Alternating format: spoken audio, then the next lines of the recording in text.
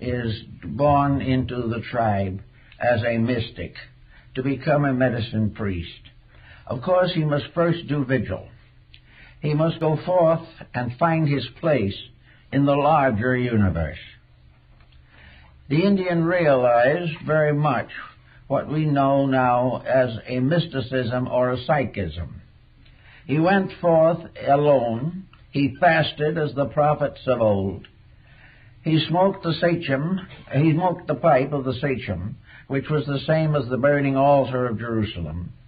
He put his prayer uh, flags on this ground, as the Tibetans do, and he put on these little stakes the feathers, which were the symbol of the creation of a square lodge or a room, and he sat in the midst of it and prayed and meditated and asked for help to call upon the old and the true and the wise the ones from the great medicine lodge in the sky who were to come down and tell him what to do and how to live and create with him a contact by which he could ask for their help whenever it was necessary.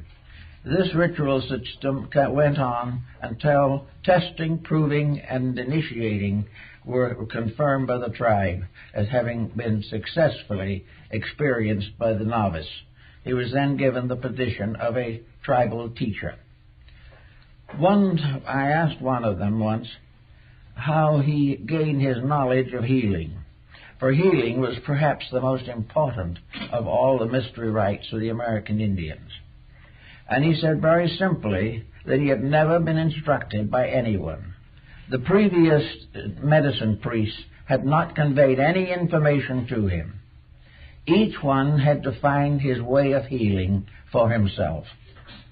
He had to go out and ask, and when sickness came, he had to watch for the omens, watch for the signs, watch for the indications by which the great ones would show him the remedy for the illness at hand. And usually, it usually so occurred. In one case that came to my attention, he went out, the priest went out to pray in the darkness of the night, and in the midst of his prayers he saw a little spark of light shining at him out of the darkness. And he went over and it was a little plant growing in the ground, and it had a spark of light had centered in it.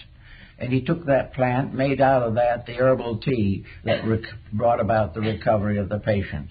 The Indian depended on these signs all the time.